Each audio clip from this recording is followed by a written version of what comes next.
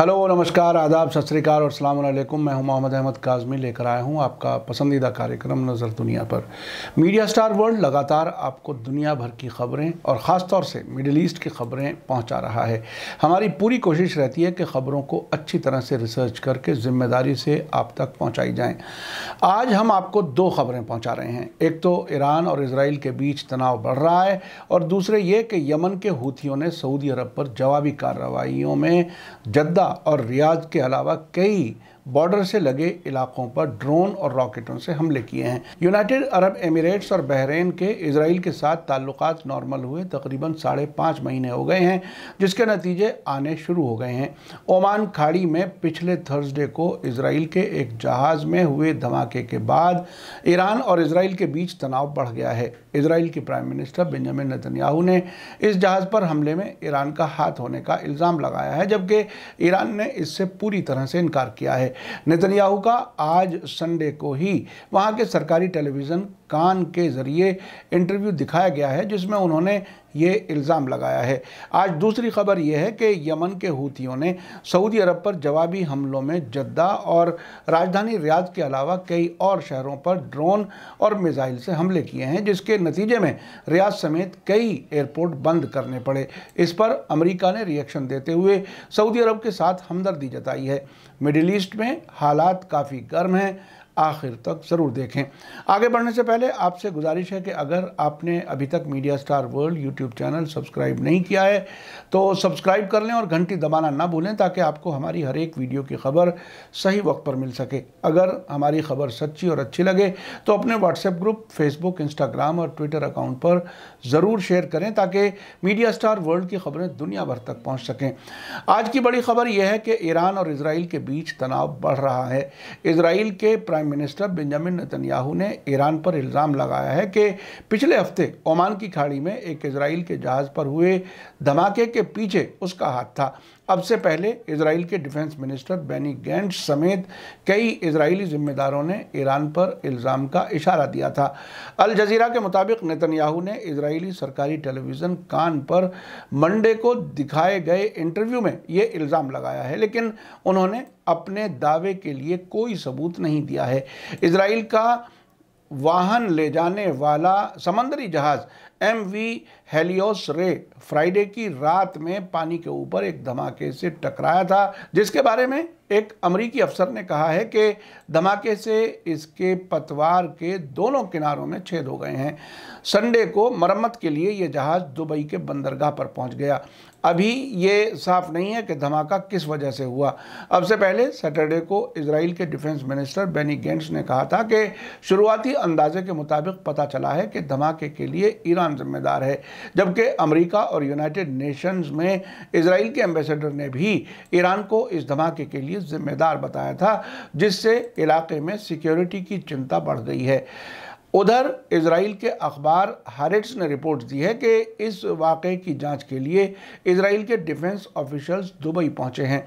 Israel के prime minister जो दो साल के अंदर मुल्क में चौथे इलेक्शन में फिर से वोट मांग रहे हैं, ने एक अहम सवाल का जवाब नहीं दिया कि क्या इसराइल जवाबी कार्रवाई करेगा। नेतन्याहू ने अपने अब से पहले के ईरान के न्यूक्लियर प्रोग्राम के खिलाफ बयानों को दोहराया। उन्होंने कहा कि ईरान इसराइल का सबसे बड़ा दुश्मन है, मैं इसे रोकने के लिए मजबूती से खड़ा हूँ। हम पूरे इलाके में इसे, यानी ईरान को मार रहे हैं। इसराइल के सरकारी टेलीविज़न कान ने कहा कि ये इंटरव्यू सीरिया की तरफ़ से साउथ दमिश्क में इसराइली हमलों के इल्ज़ाम लगाने से पहले संडे रात को रिकॉर्ड किया गया था। इसराइल की मीडिया रिपोर्ट में कहा गया है कि सीरिया में किए गए हवाई हमले ओमान की खाड़ी में हुए जहाज़ पर हमले के जवाब में ईरानी ठिकानों पर किए गए हैं। इसराइली फ़ौज ने कोई भी कमेंट करने से इनकार कर दिया है।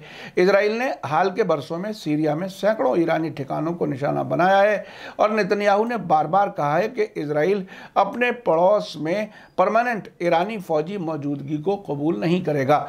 इसराइल के इस इल्ज़ाम के बाद ईरान की फॉरेन मिनिस्टर मिनिस्ट्री ने नेतन्याहू के दावे को मजबूती के साथ खारिज कर दिया और कहा कि उनके हालिया कमेंट्स उनके ईरान के सिलसिले में जुनूनी व्यवहार का नतीजा हैं। फॉरेन मिनिस्ट्री के स्पोक्स पर्सन सईद खतीबजादे ने आज तेहरान में अखबारी नुमाइंदों से बात करते हुए कहा कि इन इल्ज़ामों के सोर्स की क्रेडिबिलिटी यानी विश्वसनीयता की सबसे ज़्यादा कमी है। इसराइल की ताज़ा सरगर्मियों को ईरान शक की नज़र से देखता है और मजबूती से जवाबी कार्रवाई का हक रखता है। खतीबजादे ने ईरान के इस रुख को भी दोहराया कि उसके पास कभी परमाणु यानी न्यूक्लियर हथियार नहीं होंगे। अब से पहले ईरान के बड़े अखबार केहान ने दावा किया था कि इसराइल का जहाज़ हेलियोस रे इस इलाके में मुमकिन तौर पर जासूसी के मिशन पर है, लेकिन इस दावे की सपोर्ट में उसने कोई सबूत पेश नहीं किया। ईरान ने हाल में कुछ हमलों के लिए इसराइल पर इल्ज़ाम लगाया था, जिसमें पिछली गर्मियों के मौसम में नातानस परमाणु ठिकाने पर एक रहस्यमय यानी मिस्टीरियस धमाका शामिल है। इसके अलावा नवंबर 2020 में ईरान के बड़े न्यूक्लियर साइंसदान मोहसिन फ़खरीज़ादे के तेहरान के नज़दीक टेररिस्ट हमले में हुए कत्ल का भी इसराइल पर ही इल्ज़ाम लगाया गया था। बाद में लंदन से छपने वाले जिविश क्रॉनिकल अखबार ने अपनी खोजी रिपोर्ट में कहा था कि जिस भारी बंदूक से फ़खरीज़ादे का कत्ल किया गया था, उसके कलपुर से आठ महीने में अलग अलग करके ईरान पहुँचाए गए थे और मोसाद ने ये हमला अंजाम दिया था। इस रिपोर्ट में ये भी बताया गया था कि इस पूरे ऑपरेशन की तैयारी एक साल पहले से जारी थी और इसमें इजरायली खुफिया एजेंसी मोसाद के एजेंट और कुछ ईरानी एजेंट मिलाकर 20 से ज़्यादा लोग शामिल थे। लंदन से छपने वाले जीविश क्रॉनिकल ने दावा किया था कि एक टन वज़न वाली रिमोट कंट्रोल से चलने वाली बंदूक का फ़खरीजादे के कत्ल में इस्तेमाल किया गया था। जीविश क्रॉनिकल ने इस खबर में कुछ खुफिया सोर्सेज का हवाला दिया था। आपको याद दिला दूँ कि पिछले 27 नवंबर को तेहरान के पास आब सर्द इलाके में ईरान के बड़े न्यूक्लियर साइंसदान उनसठ साल के मोहसिन फ़खरीज़ादे का मर्डर कर दिया गया था। जिविश क्रॉनिकल के मुताबिक एक शुरुआती रिपोर्ट में बासठ बंदूकधारियों की एक टीम को गलत तरीके से मुलजिम ठहराया गया है। आपको याद दिला दूँ कि ओमान खाड़ी में इजरायली समंदरी जहाज़ पर धमाके के बारे में पिछले फ्राइडे को ब्रिटेन की मैरीटाइम ट्रेड ऑपरेशंस ने बताया था कि एक इसराइल के मालवाहक जहाज़ एम वी हेलियस रे में उस वक्त धमाका हो गया जब ये ओमान की खाड़ी से गुजर रहा था। ब्रिटिश ऑर्गेनाइजेशन ने जहाज़ की लोकेशन ओमान की राजधानी मस्कट के नज़दीक बताई थी। इस वाक़े में जहाज़ को चलाने वाला स्टाफ महफूज बताया गया है। उसके बाद इस मालवाहक जहाज़ को मरम्मत के लिए दुबई ले जाया गया था। अब चलते हैं आज की दूसरी खबर की तरफ़, जो मिडिल ईस्ट की तस्वीर का दूसरा रुख पेश करती है। अल जजीरा टीवी चैनल ने सैटरडे की रात को खबर दी है कि यमन के हूती अंसारुल्लाह ने सऊदी अरब की राजधानी रियाज पर मिज़ाइल हमले किए हैं। अल जजीरा के मुताबिक सऊदी अलायंस के स्पोक्स पर्सन तुर्की अलमालिकी ने दावा किया है कि यमन के अंसारुल्लाह ने सऊदी अरब की राजधानी रियाज की तरफ़ एक बैलिस्टिक मिज़ाइल फायर किया था, लेकिन निशाने पर लगने से पहले ही वो तबाह कर दिया गया। सऊदी अलायंस के स्पोक्स पर्सन की तरफ़ से ये दावा ऐसी हालत में किया जा रहा है, जब कुछ सोर्सेज ने रियाज में कई धमाके होने और आग लगने की खबर दी है। खबरों में कहा गया है कि सैटरडे की शाम को रियाज की तरफ़ चार मिसाइल फायर किए गए, जिसके बाद रियाज और जद्दा हवाई अड्डों को उड़ानों के लिए बंद कर दिया गया। सऊदी सोर्सेज ने इसी तरह रिपोर्ट दी है कि यमन के अंसारुल्लाह ने सऊदी अरब के कुछ ठिकानों पर ड्रोन हमले भी किए हैं। हूतियों के अलमसीरा टेलीविज़न ने सॉल्वेशन सरकार के फौजी स्पोक्स पर्सन याहिया असरी के हवाले से खबर दी है कि राजधानी रियाज में पाँच सेंसिटिव जगहों पर ड्रोन से हमले किए गए हैं। यमन की राजधानी सना में संडे को प्रेस कॉन्फ्रेंस में बात करते हुए असरी ने कहा कि इन हमलों में जुल्फ़कार, एक मिज़ाइल और असम्माद तीन ड्रोन के ज़रिए हमले किए गए हैं। इसके अलावा जद्दा, आभा, खमीस और मशीद पर भी हमले किए गए हैं। उन्होंने ज़ोर देकर कहा कि जब तक सऊदी अरब की तरफ़ से हमले जारी रहेंगे और यमन का घिराव रहेगा उनकी तरफ़ से सऊदी अरब के खिलाफ कार्रवाई जारी रहेगी। इन हमलों के बाद रियाज और जद्दा एयरपोर्ट्स को बंद कर दिया गया और वहाँ आने वाली उड़ानों को दूसरे एयरपोर्ट भेज दिया गया। हुतियों की तरफ़ से सऊदी अरब के खिलाफ जवाबी हमलों पर अमरीका की फॉरेन मिनिस्ट्री ने संडे को कहा है कि यमन की ईरान सपोर्ट वाली हूथी मिलिशिया के ज़रिए सऊदी अरब पर किए गए ताज़ा हमले की वो मजम्मत करते हैं और सऊदी अरब के साथ लंबी मुद्दत की साझेदारी के लिए अपनी पाबंदी दोहराते हैं। फॉरेन मिनिस्ट्री के स्पोक्सपर्सन नेड प्राइस ने कहा कि अमेरिका सऊदी अरब में सैटरडे 27 फरवरी को आबादी वाले इलाकों पर हूथियों के हमलों की सख्त मजम्मत करता है। इन हमलों से न सिर्फ़ बेगुनाह शहरीों को ख़तरा है, बल्कि यमन में अमन और स्टेबिलिटी के चांसेस को भी ख़तरा है। ये बहुत ही दिलचस्प बात है। तकरीबन छः साल से जो जंग चल रही हो और यमन के शहरी इलाकों में बार बार हमले हुए हों, जिसमें हज़ारों लोग अब तक मारे जा चुके, इस किस्म का बयान अमेरिका की तरफ़ से अब तक नहीं आया। अब सऊदी अरब के ख़िलाफ़ जब जवाबी कार्रवाई हो रही है तो इस किस्म के बाकायदा बयान आ रहे हैं, जिसमें कहा जा रहा है कि शहरी इलाकों को ख़तरा है। अगर आप गूगल करके यमन वार इमेजेस देखेंगे तो आपको अंदाज़ होगा कि पूरे पूरे शहर उसमें तबाह हो गए हैं और यही ताकतें जो अमेरिका अपने आप को सुपर पावर कहता है, वो खामोश रहा है।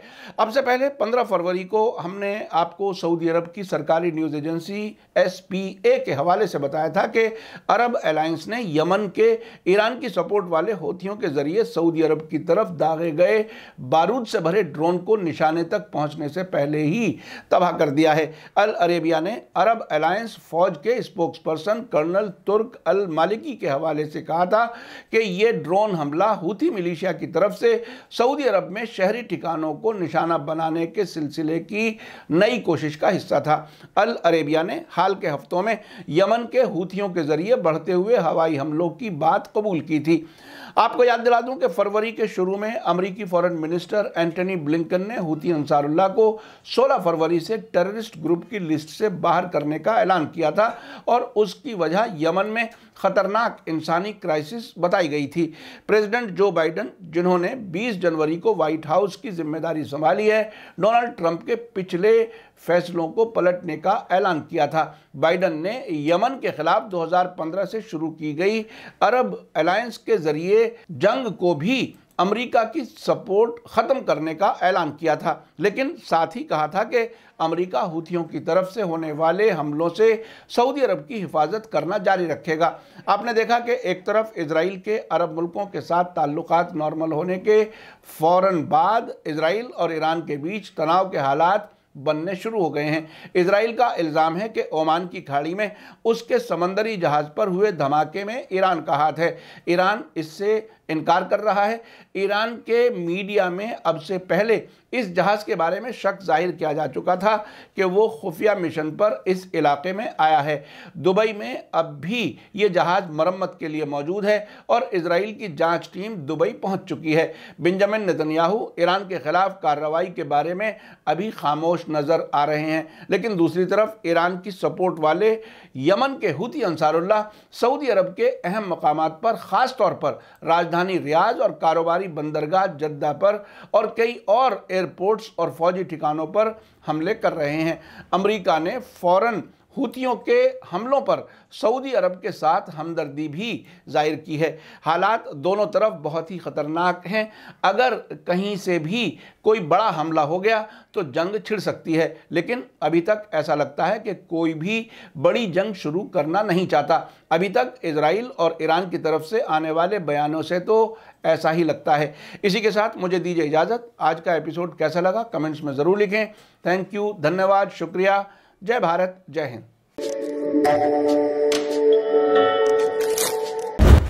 मीडिया स्टार वर्ल्ड के और वीडियो देखने के लिए हमारे चैनल को सब्सक्राइब करें और सीधे नोटिफिकेशन पाने के लिए बेल आइकन दबाएँ।